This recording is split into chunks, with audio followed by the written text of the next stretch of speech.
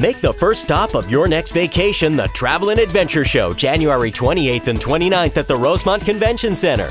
You'll visit hundreds of destinations, resorts, and tour operators from around the world. Experience scuba diving, ride camels, enjoy cultural entertainment, get expert advice from Samantha Brown, and test your taste buds at the Fiery Foods Challenge. Win prizes and stretch your travel dollars with show only specials at the Travel and Adventure Show. Go to AdventureExpo.com for discounted admission.